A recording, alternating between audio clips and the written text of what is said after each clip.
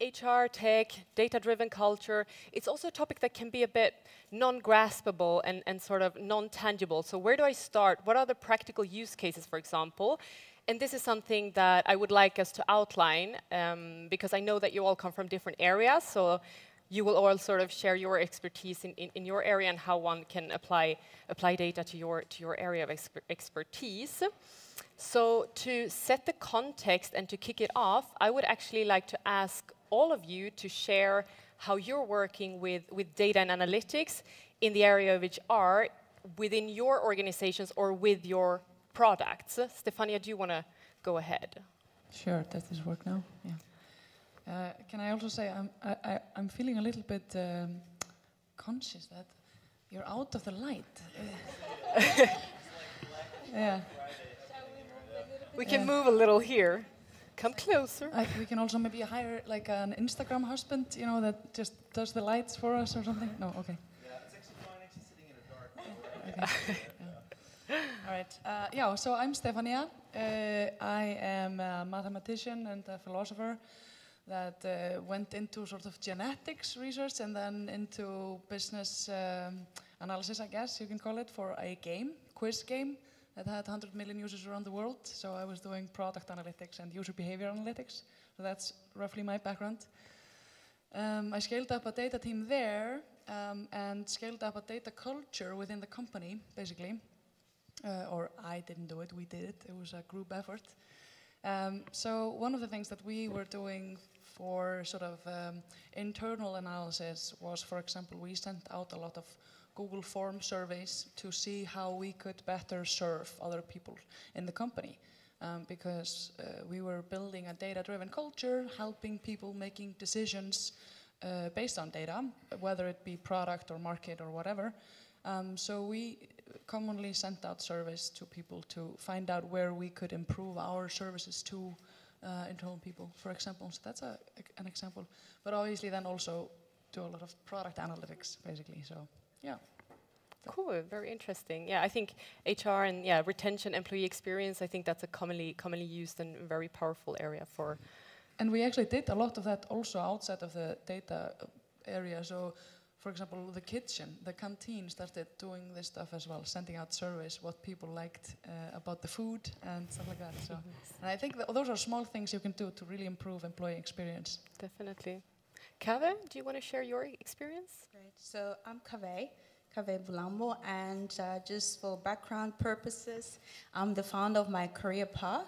We're a career coaching and placement organization, and our purpose is really to prepare young people to embrace the 21st century job market because we just feel there's a mismatch between expectations and reality. So we try to prepare young people to embrace the market. And secondly, I'm also a talent acquisition and brand specialist at, uh, at HiBooks. HiBooks is an audiobook platform, an app that you can download right now if you want to. and we are based in San Francisco, but we also uh, have offices here in Berlin. And overall, I have been in the recruitment world for the last three years now. And currently, I'm focusing on recruiting engineers and data scientists, data analysts, and the works. And the way that we try to use data right now in my current and previous companies is really first to attract talent. So, depending on the size of the companies that I've been at, most of the time we're known or we're not known. So, attraction is the key area that we try to improve on there in terms of data that's coming in. And then the second element that we try to use data with is to optimize the candidate experience. So how do we make sure the process from application to hire is better and good that it benefits the candidate but also the company. And of course we use different tools to do this. And the second thing that we, or the third thing that we try to do also, even at this stage, is really to try and, and check our pulse as a company to improve culture. And the way that we try to do this is to collect first an NPS score from the employees themselves within the candidates and also do uh, a survey um, to candidates as well that are incoming. Um, yeah. Cool. And Darja, I know that from, from your side, I mean, being the CEO and founder of, of Bunch, that's probably more from a product perspective. So tell us a yeah, little bit exactly. more about so that. I think it would be um, less interesting to talk uh, only about our team. I'm um, Darja, the co-founder and CEO of Bunch AI. Um, I think it's more interesting to look at the topic um, from product and customer's perspective in our case, because um, even though we sometimes don't uh, position ourselves as such, um, we are in the HR market, of course. So um, Bunch AI um, uses psychology, um, data, and um, modern technologies like machine learning to help companies to bring in people analytics into people decisions. We uh, build products around it, but we also have projects with um, more bigger enterprise customers. The products that we've built in the past um, year, where we've gained um, companies like N26, DigitalOcean, and the likes as customers, um, are mainly focused on empowering better decision making around recruiting and hiring um, with the perspective of building um, better teams. And I think the most interesting, um, this might all sound very uh, uh, abstract, I'm aware of that. Um, I think the biggest or the best way to understand what we're doing literally is um, when I was a psychologist, I used to work um, at, on the border between like business strategy, customers, and, and um, leaders in the end. And what I've learned is that in the world of research of psychology, organizational psychology, neuroscience, whatever, um, social realms, we know so much about how human behavior potentially works uh, with its limitations, and there is definitely a lot of more to discover, but there is so much knowledge already out there that is entirely disconnected from the actual practitioner's world.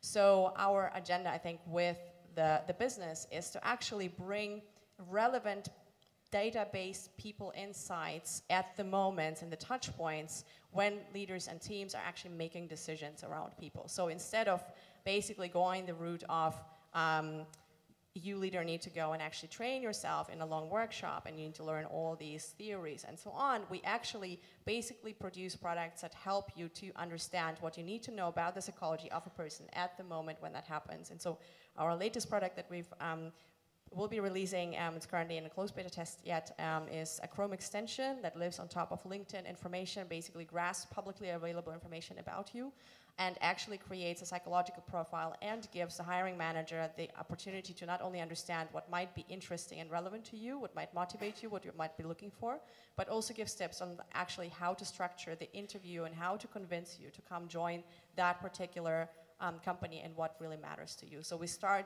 empowering much higher level of personalization in the candidate experience at this hiring touchpoint.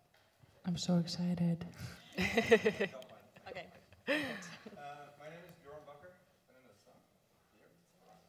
Not only in the dark, but do we do switch? Thank you so much. You're totally in the Um, dark My name is there. Bjorn Bakker. I'm the founder and CEO of BlindFeed.com, and we seek to change the way people actually understand themselves and each other, but also how we can actually help people create work that matters. And the reason why we focus on this because we think it's actually the most important problem that we face today, because we really lack as a society and also as people amongst each other, really the perspective and the understanding of like how actually uh, what's the noise in other people's heads. So one of the things that we actually did, and my background is actually nothing to do with HR. I'm a professional racing car driver that stopped his career because he had a severe accident. And nothing with racing, jet ski, whatever. It was like I had a bit of too much uh, adrenaline pump, seeking adventure me. Um, and from there, I actually started my own company in nanotechnology. From there, after that was sold, I ended up in different software companies that were uh, in total now sold for 1.8 billion dollars. And while the number sounds really cool, internally it was a total shit show, right?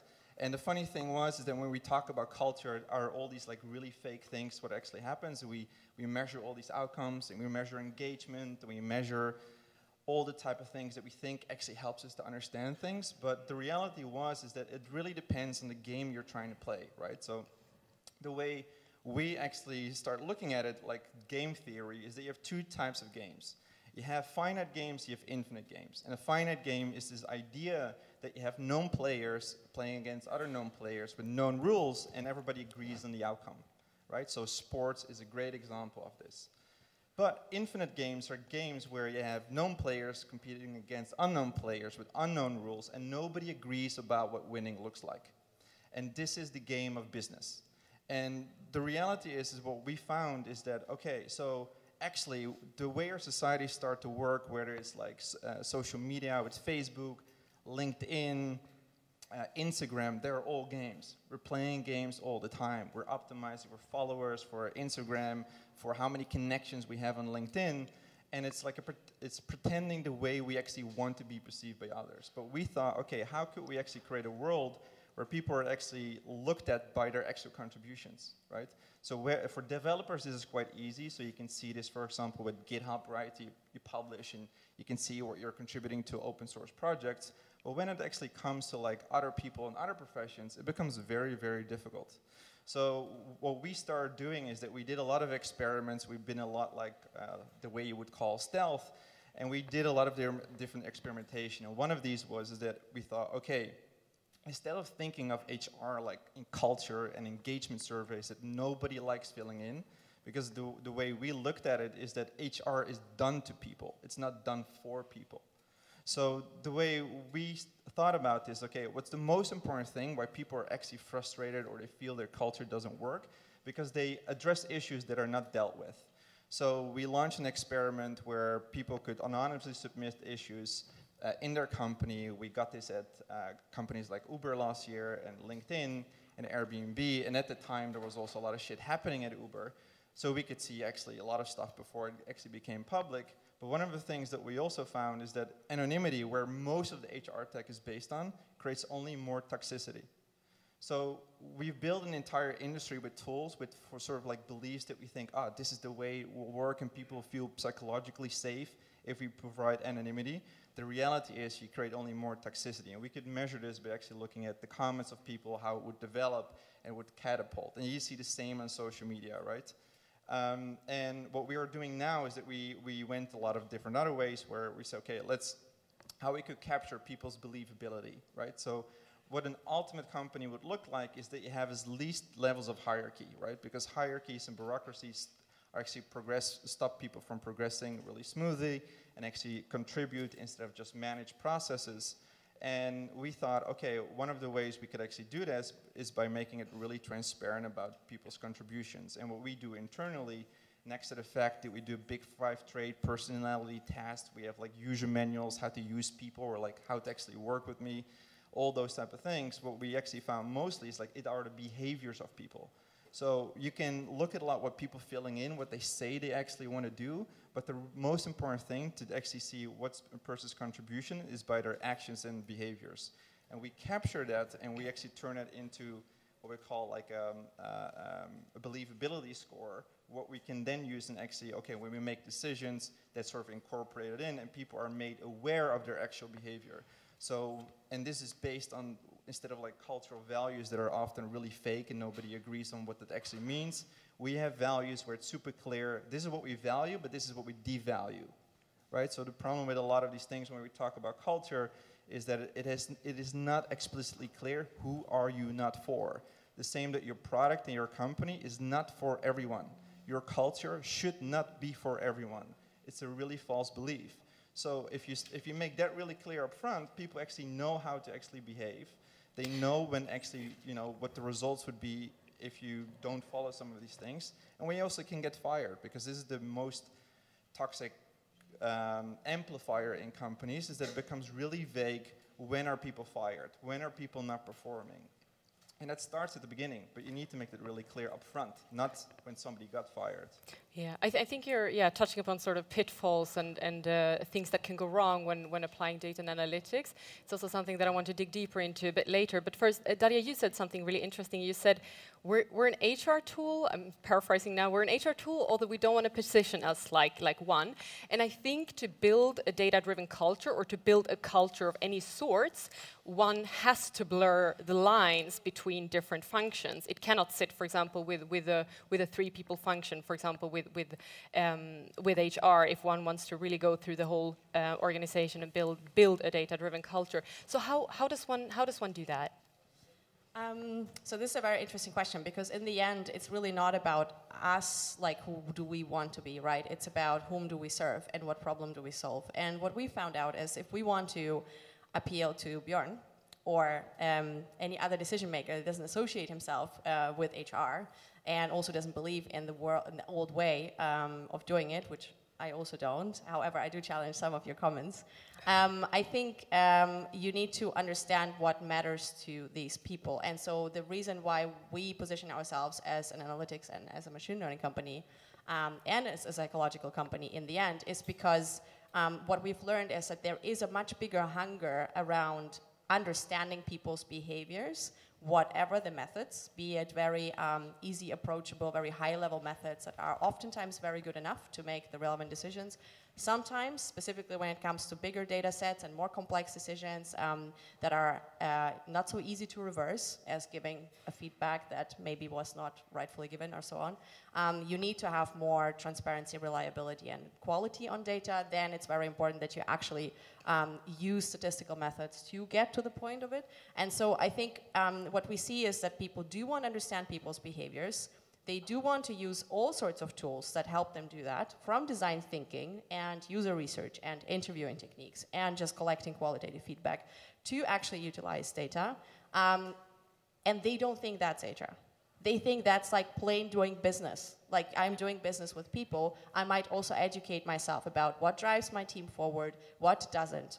What rules do I need to set with them? What do I not need to actually achieve my business goals? And all of this has spurred like this whole movement around that I think was started way before the Google Aristotle project. But I think that's a very good example where a big enterprise actually underpinned the beginnings of people analytics, how we know them today, where you actually bring together social scientists, psychologists, statisticians, data scientists, and actually give them this very blurry, high level task of please find out what makes our team successful.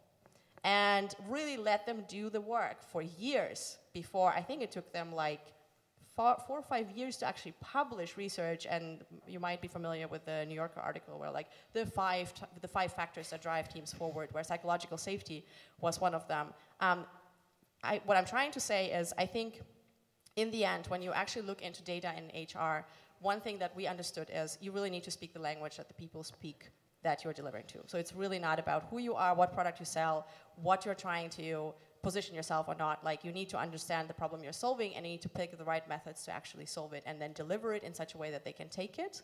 Um, and I do have a follow-up question. I'm not sure whether I'm um, allowed to do that or not, but I'm just still going to do that. As long as you keep the answer short. yes. Um, you said something very interesting. I think I agree that we used to see um, this whole HR like measurement feel very one-sided. Like surveys were all we knew, and then we do um, reliability analysis on them, and then we display averages like per person, like per team, per division, per whatever. And I don't agree that it's like that's not enough. However, I think from what you were depicting, I think there is a very interesting aspect that we need to look at. Um, referring to this Google research, psychological safety came out as the number one driver in teams.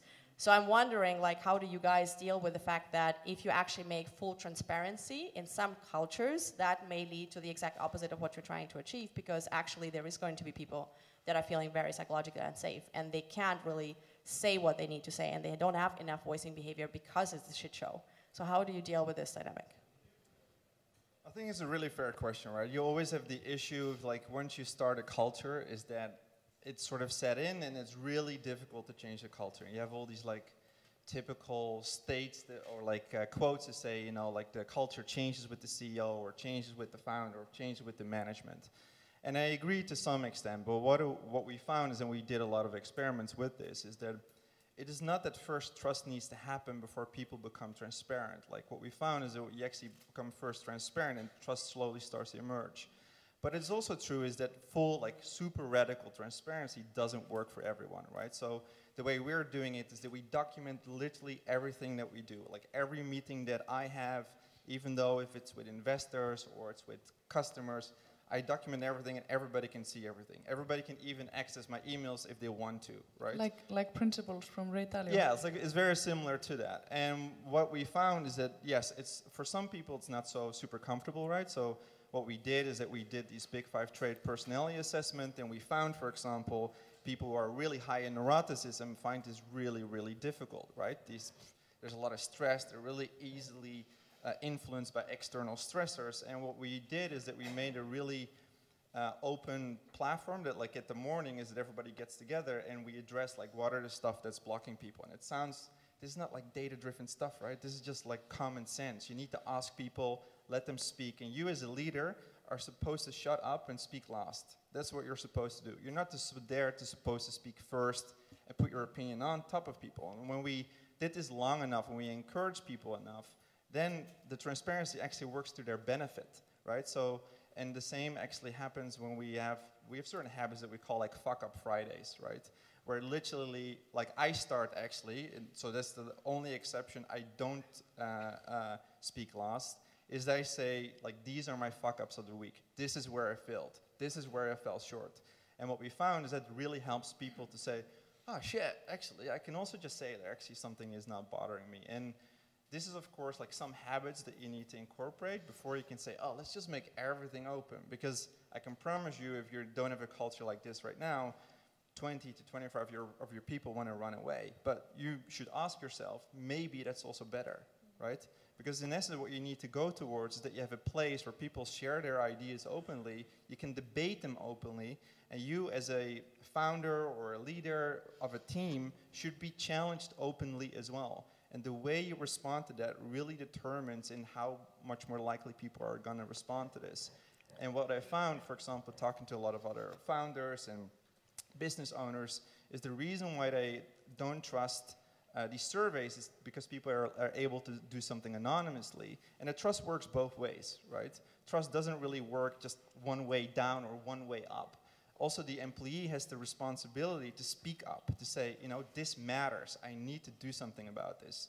Because the reality is like it's notion in your head that often prevents you from actually thinking, oh shit, I might get fired if you get fired, it's not the freaking company you're supposed to work at in the first place if you can't share your ideas. And that's something I, I think this is a, yeah, this is a very. I'd like to actually go ahead and, and, and interrupt you here. Sorry, um, it's I think it's a it's a very interesting topic, and it's certainly an area where data and analytics uh, can be can be heavily applied and it very much tied, is tied to, to how to how to and how to not maybe build build a data-driven culture, but actually something because we are limited of time, something that I actually would like to touch upon as well, uh, considering that we have Kave with us as well, um, highly experienced in recruiting, because recruiting is an area of HR where I think we've done pretty well. We have managed pretty far in terms of utilizing um, data and analytics to make better decisions, cut costs, etc. Tell us a little bit more about this, and uh, what would your recommendations to, let's say, either an HR manager or simply a CEO or, or someone, um, uh, you know, business owner responsible for the area of HR, what would you recommend for someone who wants to become more, more data-driven in the area of recruiting? So the way I want to put this is HR is an umbrella and you have various elements in there like recruiting, talent retention, you have your culture, you have compensation, right?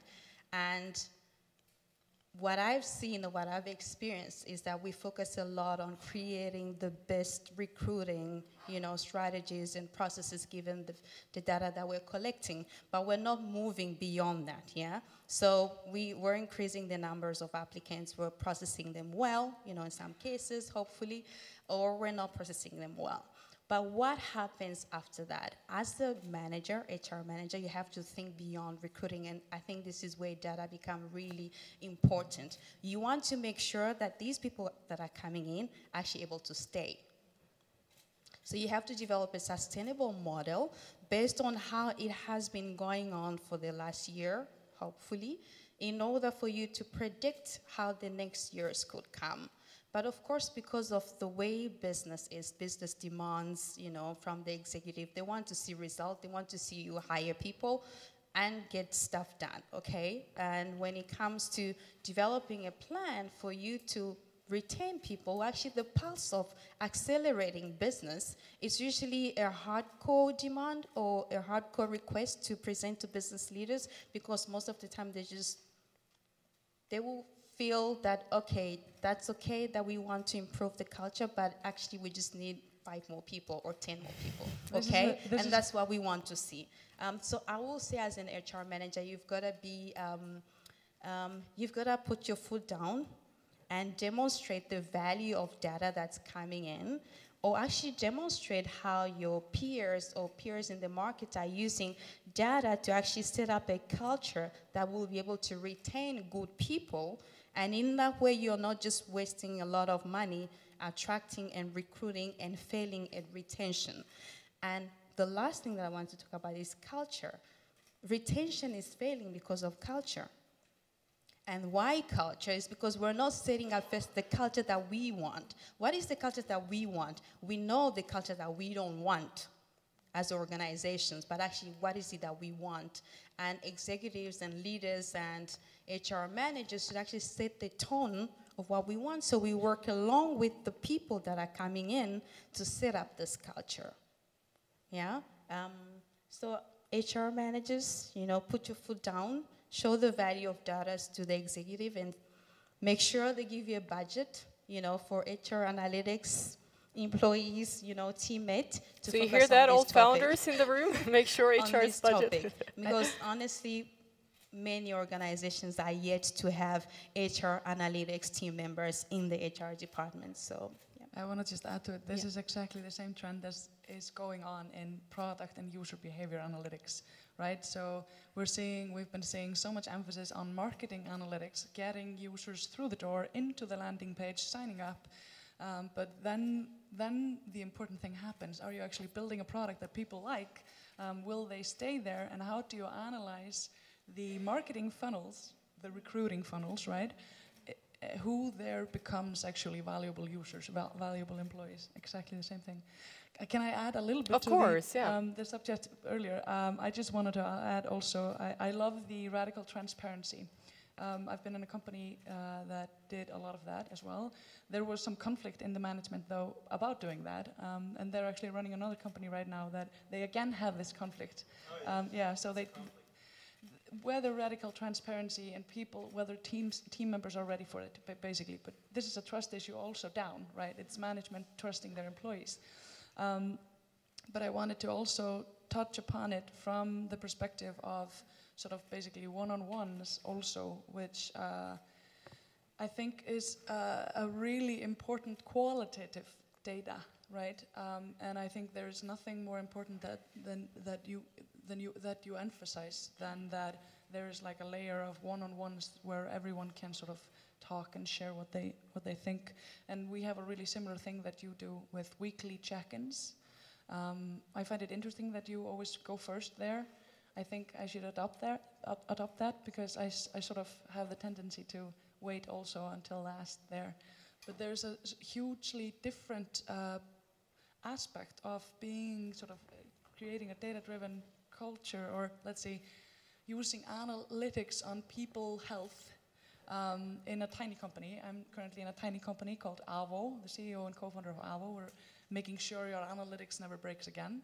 Um, and we're four people that are uh, there every week, and then we have some other people.